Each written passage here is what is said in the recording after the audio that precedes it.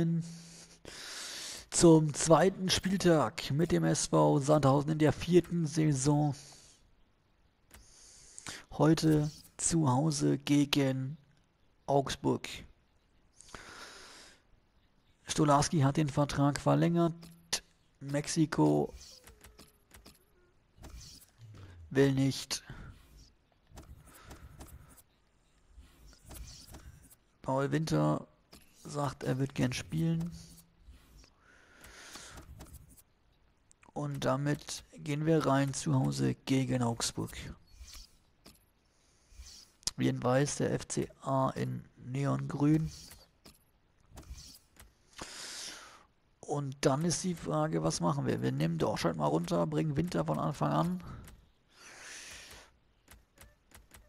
Und dann würde ich sagen, gehen wir genau so rein in die Partie nach Hause gegen Augsburg. Die Maschine wird die Partie leiten. Es ist nebelig in Augsburg, in Sandhausen. Der Spielball wird wieder eingestellt. Und damit Schauen wir noch rein, gibt es noch Parallelspiele heute Nachmittag? Ja, Leverkusen gegen Bremen, Hertha zu Gast in Dortmund, Mainz empfängt Hamburg, die Bayern auf Schalke und Wolfsburg empfängt Hannover. Und damit auf geht's zu Hause gegen den FC Augsburg.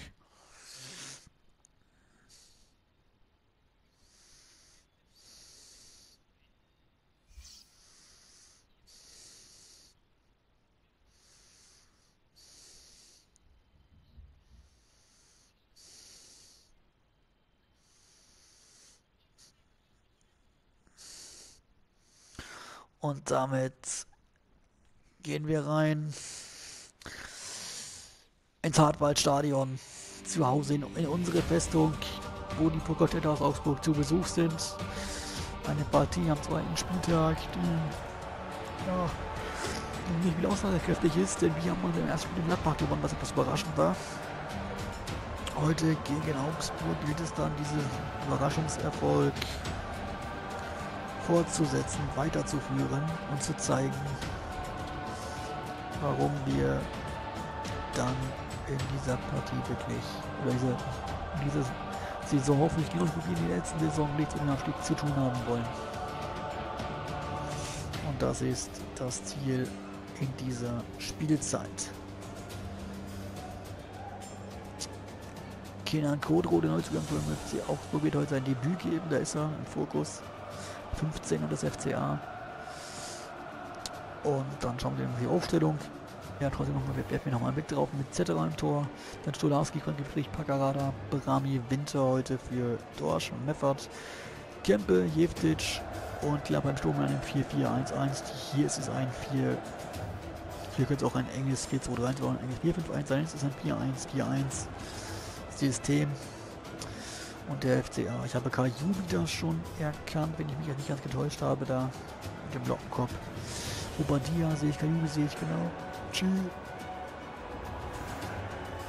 Wieder unter Busk im Kasten. Dann Tagi Kaczyndecker, Max, Kua und Jagiran auf der 6. Bobadilla rechts, Kajubi links, G im Sturm. Der auf der 10 und Kotro im Sturm. Im 4-2-3 sitzt das FCA. Und damit stößt der FC Augsburg an in dieser Partie. Auf geht's. Mit Hinteregger. Labaffe drauf zu schieben. Kagiran. Obadia. Außen ist ein bisschen Platz für Teigel, der wieder ein Mann mehr ist aber das Start gut mit zurückgearbeitet. Mit Franke, der auf Stolarski, der ins Zentrum für Winter.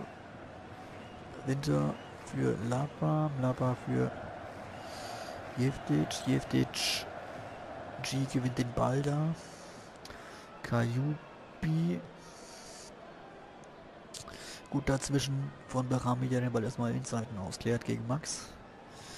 Zum Einwurf nach gut 5 Minuten. Kajubi mit dem Einwurf setzt sich durch, hat dann jetzt Platz. Kajubi legt nochmal ab, bekommt ihn mal einfacher.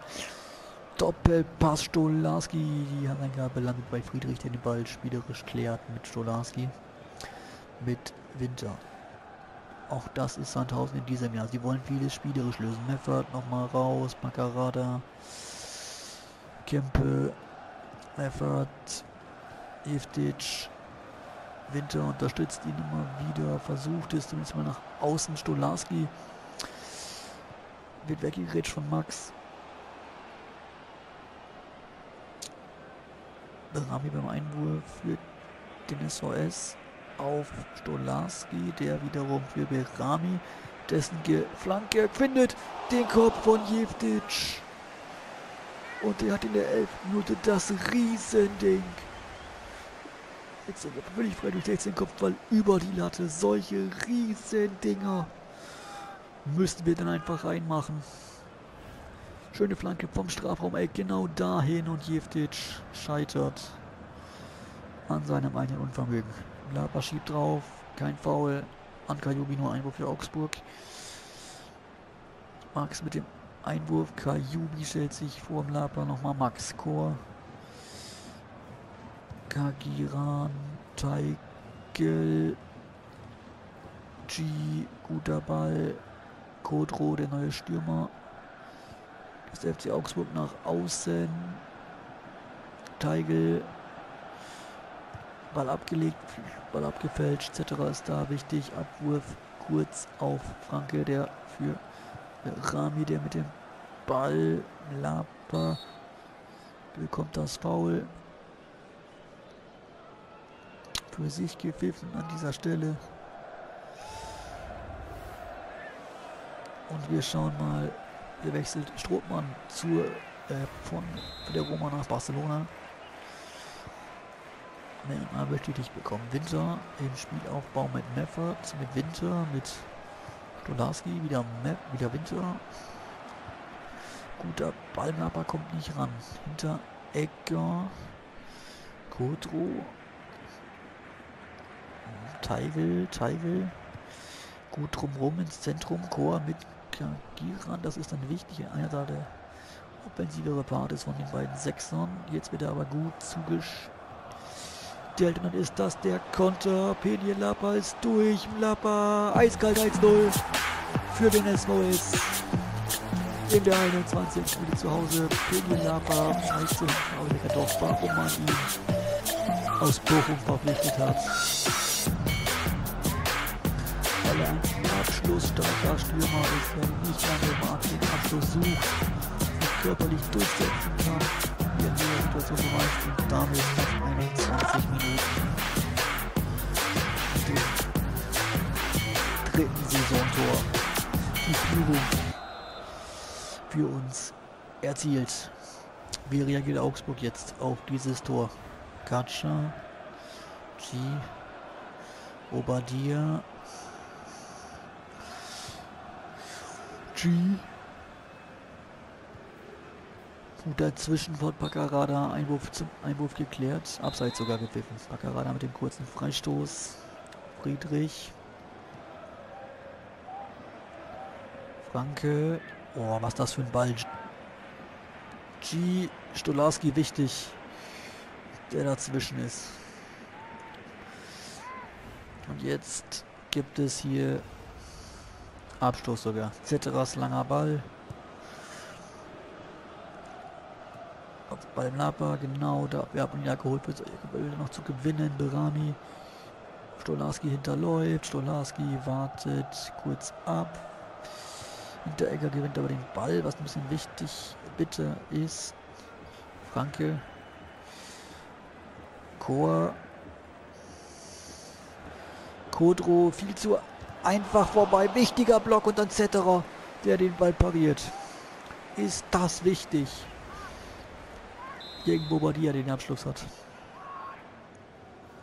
Eckball, Berami, Flanke etc.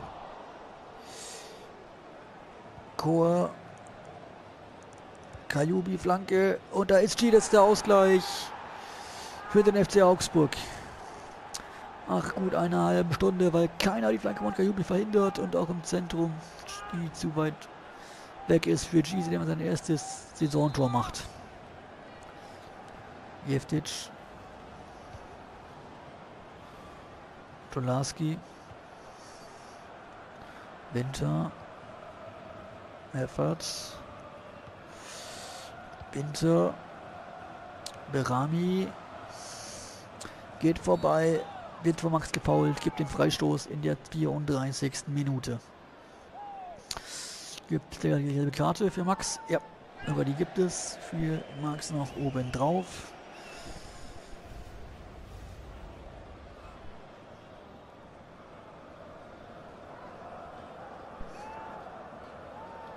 Und dann schauen wir mal, was hier noch bei rumkommt. Freistoß Berami. Flanke in Richtung des Kopfes, aber nicht von Lapa. So dass Busk da richtig stark parieren muss. Jeftic war es, glaube ich, der Junge, der da den Kopfball aufsetzt. Eckball Berami. Hier ist wieder nicht so schlecht. Busk. Winter. Aber auch der Ball ist wieder abgeblockt. Und damit müsste es erneut Eckball geben. Den gibt es auch, genau. Der Rami darf nochmal, der ist nochmal nicht schlecht. Jeftic noch außen. Meffert nimmt die äußere Laufbahn. Die Flanke, Kopfballmöglichkeit nicht für 25, weil Max klärt. Nächster Eckball. Kempes Eckball. Kopfball. Stolarski. 2-1. 39. Minute.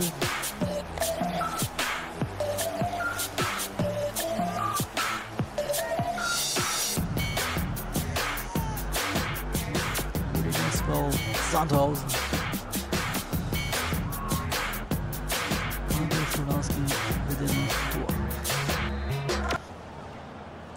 2 zu 1 Führung für Sandhausen.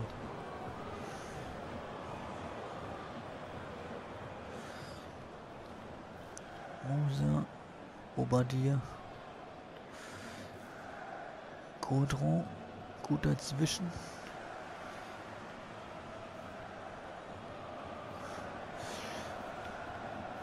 Godro, Nakarada, Kempe. Und der Einwurf jetzt für uns. Paccarada mit Meffert. Paccarada. Stolarski. Lappa. Kommt nicht dran, Max.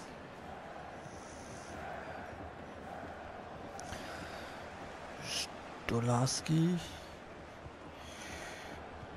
Barami. Jevic.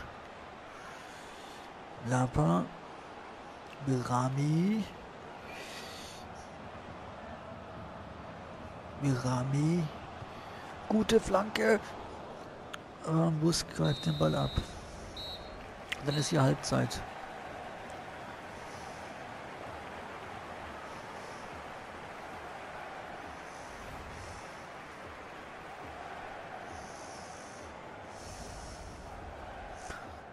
Das 2 zu 1 zur Pause geht erstmal so für uns in Ordnung. Ganz wichtig.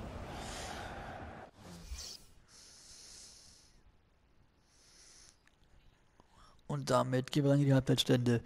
Leverkusen 1 zu 2 gegen Bremen, Hertha 2-0 hinten in Dortmund, Mainz 1-1 gegen Hamburg, die Bayern 1-1 gegen Schalke, Wolfsburg 1-0 vorne gegen Hannover. Und damit würde ich sagen, gehen wir gleich mal rein in die Halbzeitpause. Ich genehmige mir vorher noch einen Schluck und dann sehen wir es gleich oder sehen wir uns gleich.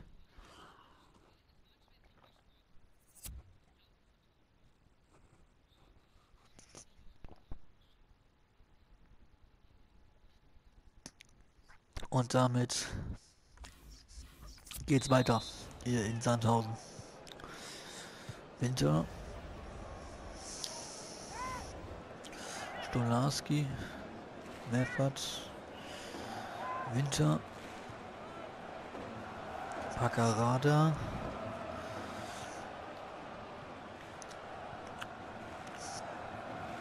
Und wir sind dazwischen. Aber G zurückgelegt. Katscho.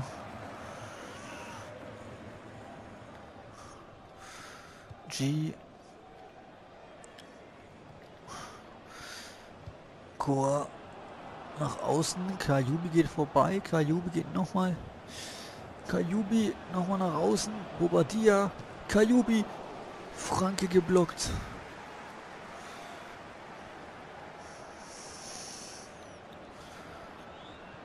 Und Berami ist dazwischen. Berami legt sich den Ball zu weit vor und dann geht der Ball in Seiten aus. Ihr seht schon den Hinweis auf das nächste Spiel, denn wir spielen unter der Woche in der Europa League zu Hause gegen Gironda Bordeaux in diesem Stadion. Hinteregger, Entschuldigung. Nochmal die Augsburger. Bobadilla geht vorbei. Friedrich wichtig. Meffert. Jeftic. Lapa. Lapa. Kann sich dann gegen Katscha nicht ganz durchsetzen. Gut dazwischen. Chor. Max. Berami mit dem Foul. Er wird die gelbe Karte bekommen. Ja, so sieht's aus.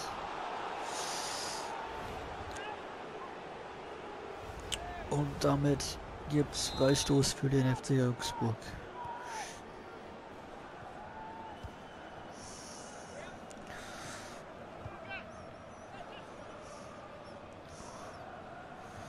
Musa.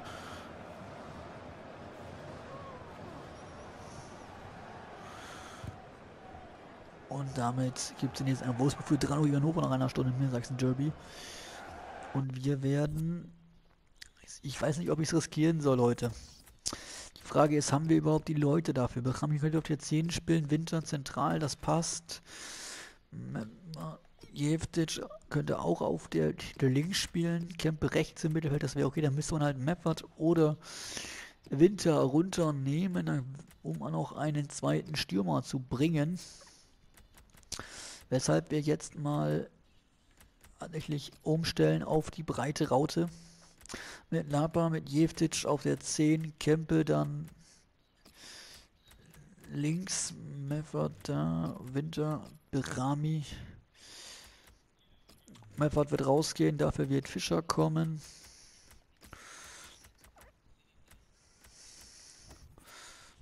Und dann jetzt natürlich noch die taktischen Einstellungen, die wir jetzt noch kurz natürlich mitnehmen müssen.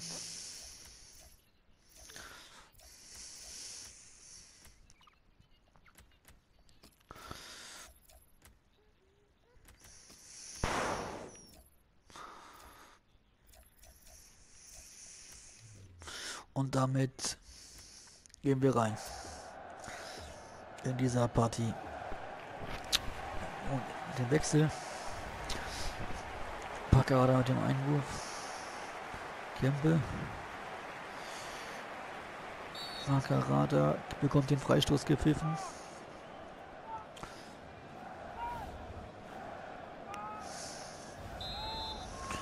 Und damit Packerada mit dem Freistoß gewinnt er. Bobadilla ist dazwischen. Winter. Durchgesteckt. Nachschuss 3. Nein.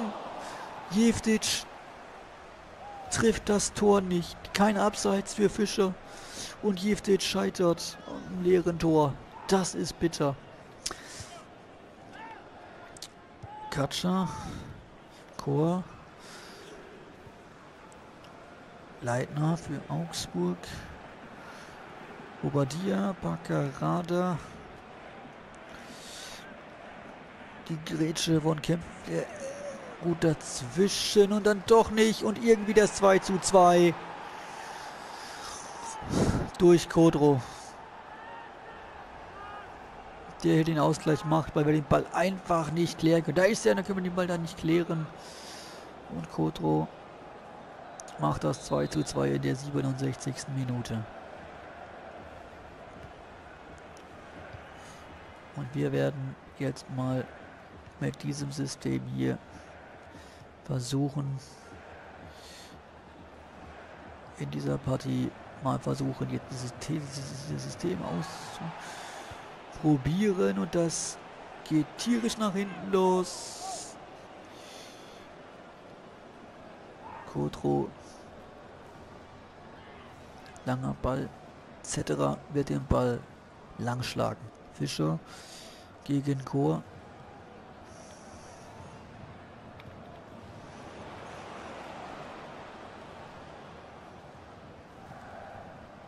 Gut dazwischen, Franke.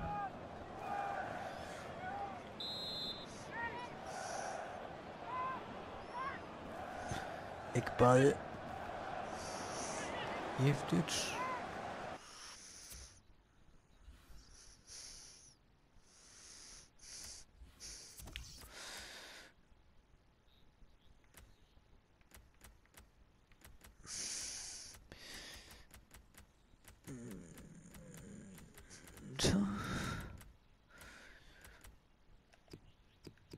Wir werden sogar mal jetzt ein bisschen was tun.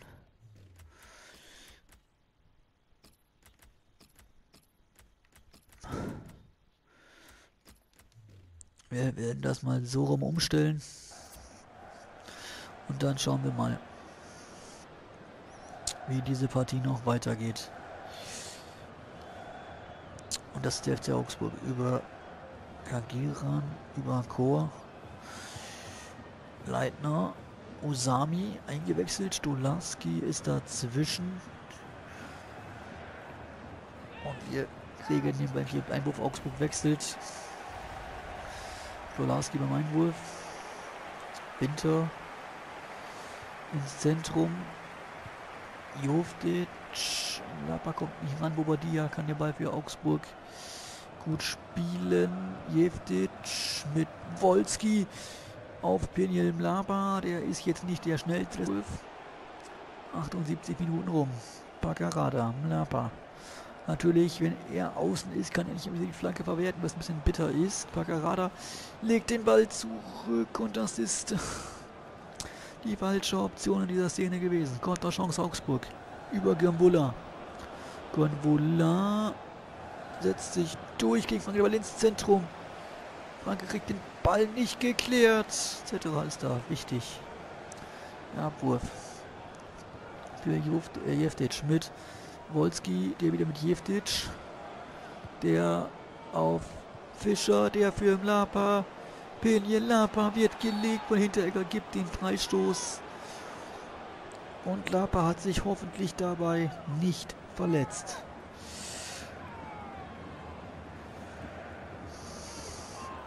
In dieser Partie. 85. Minute Freistoß für Sandhausen. Und da hat man jetzt aus 20 Metern mit Kempe eine Waffe. Kempe für Sandhausen. Kempe mit dem Freistoß für Sandhalo. Darf ich mal oder was? Kempe für Sandhausen. Kempe, Kempe, Latte. Nochmal abgelegt, der Abschluss. Busken nochmal ins Zentrum. Max kann den Ball dann klären. Gönwuller nach außen. Chor. Chor. Usami gut dazwischen. Winter. Lapa durch, will ihn durchstecken. Die, an der Ferse bleibt der Ball hängen. Usami nochmal für Augsburg nach außen gelegt. Max. Korn. Nochmal Max. Stolarski klärt.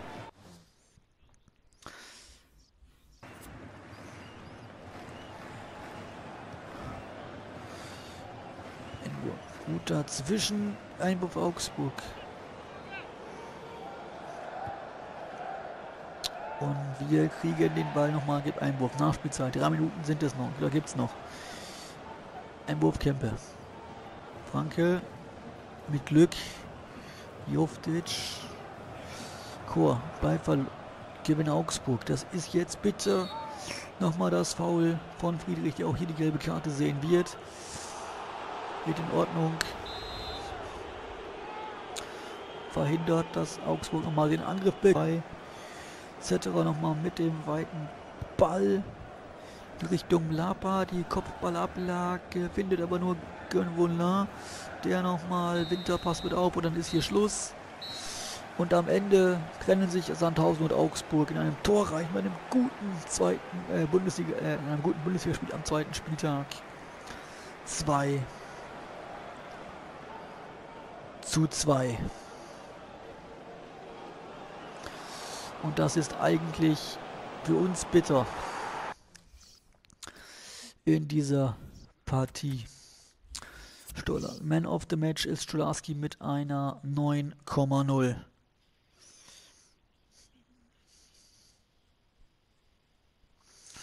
Und dann Augsburg auch in einem 4-1-4-1, deswegen zum Ende hin.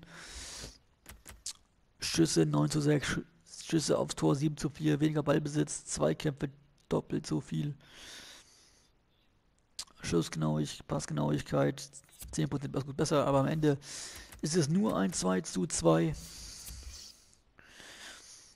Die Bremer gewinnen Leverkusen, 2-2 Leverkusen, Dortmund 4-1 gegen die Hertha, Hamburg 2-2 gegen Mainz, Schalke verliert 3-2 gegen die Bayern. Und ähm, ja, wir holen wie gesagt ein 2 zu 2 gegen Augsburg zu Hause. Wir gehen ins Büro, denn wir haben vier E-Mails. Pressekonferenz. Wir werden das nicht tun. Winter bedankt sich. Und Franke bedankt sich auch. Wir haben das Scouting-Update aus Polen. Bis 80 bis 93 bis 73. Armatol Kolzlowski wird es nicht sein. Und wir werden an diesem 15. jetzt den Scout-Bericht werden unsere Jugendscouts gleich 15.10. kommen die erst weg. Also wir sind erst, wir sind ja erst im September, ich dummer Trottel. Und damit will ich sagen, bedanke, beende ich den Part, sage danke fürs Zuschauen, hoffe, hat euch gefallen und dann sehen wir uns im nächsten Part zum ersten Spieltag in der Gruppe L in der Europa League zu Hause gegen Girondin Bordeaux. Bis dann, bleibt gesund, haut rein und ciao.